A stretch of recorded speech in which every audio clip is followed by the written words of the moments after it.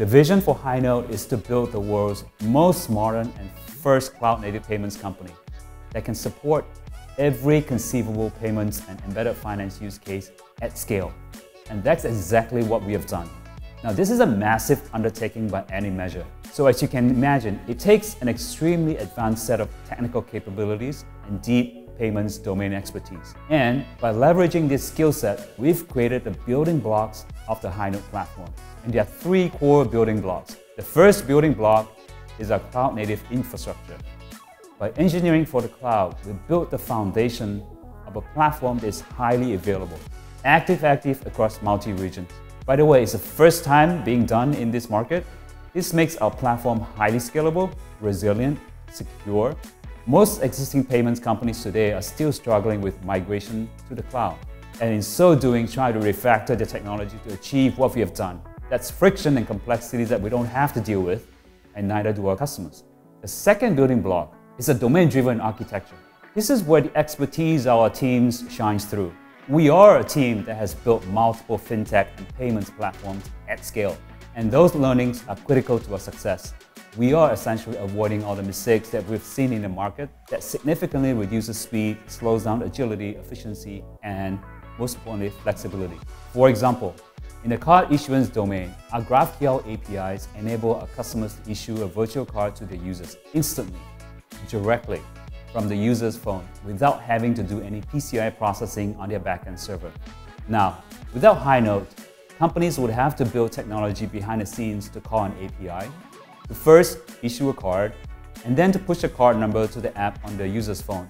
This essentially puts the company in the burden of PCI scope. That's an example of a completely unique capability that delivers improved speed, agility, efficiency, and flexibility. As another example, in the card processing domain, we built capabilities that leverage our direct connection to the payment networks like Visa and MasterCard. We capture all the data elements in ISO messages generated by payments transactions. And we make this data set available to our customers so that they can unlock tremendous value in terms of data analytics, financial operations, reporting, risk, and many other areas where access to quality data is critical. Now, of course, we're not the only ones with access to ISO messages. But with the way we leverage GraphQL in our APIs, we are unique in terms of combining rich data sets quickly and easily to support innovative, valuable use cases. The third building block of the Highnote platform is our advanced ledger capabilities. Now, I realize it's not common for a CTO to talk about the importance of financial rigor. You heard it from the CFO, right? But this is a cornerstone of our platform.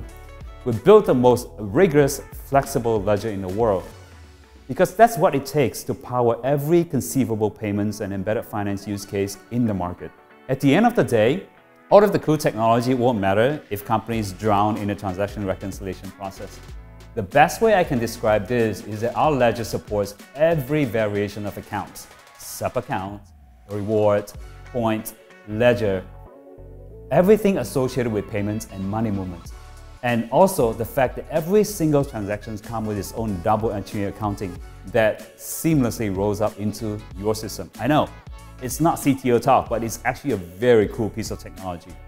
So, to sum it up, the three core building blocks are cloud native, expert domain-driven application architecture, advanced ledger capabilities, all delivered through GraphQL APIs.